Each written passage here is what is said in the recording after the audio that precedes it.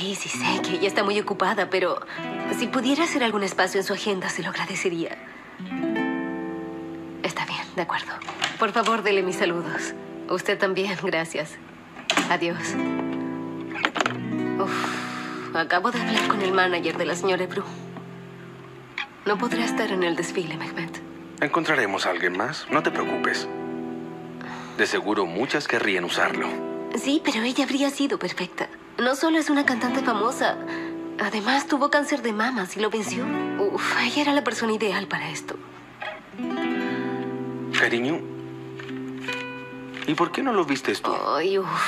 Claro que no, ¿es una broma? No, no, hablo en serio. Ah, sí, sí, bien, bien, bien, bien, bien. Te he visto dos veces usando un vestido de Vamos. Mehmet. Y créeme, ¿eh? que te ves muy bien. Creo que fuiste la novia más bella sobre la tierra, cariño. Qué gracioso. Mi amor, ¿qué harás esta noche? ¿Tienes planes?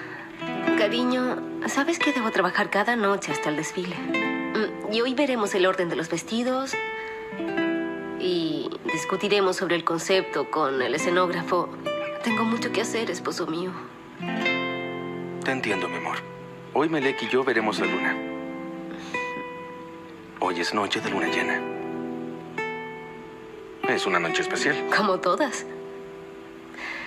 Bueno, cariño, necesito trabajar, lo lamento. No, no te preocupes. Tú continúa con eso. Buena suerte.